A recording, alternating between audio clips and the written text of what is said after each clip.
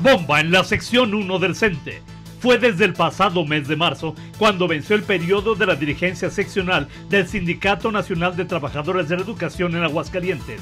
Y a dos meses existe ya una muy fuerte inquietud en el magisterio local, pero especialmente entre aquellos que tienen alguna aspiración para ocupar los sitios vacantes. Y si bien se ha mencionado que será el Comité Ejecutivo Nacional quien emita la convocatoria literalmente cuando se le dé la gana, no pasa desapercibido que al concluir el tiempo para el cual fueron elegidos, el dirigente estatal Ramón García Alviso y los 32 integrantes de la sección 1 no cuentan ya con facultades legales para ejercer el cargo.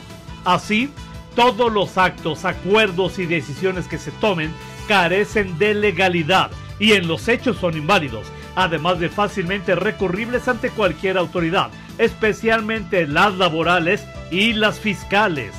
Y existen versiones en el sentido de que ya hay un grupo interno que tiene lista una andanada de demandas para echar abajo todas las decisiones tomadas desde el pasado mes de marzo a la fecha. Y la cosa promete ponerse caliente.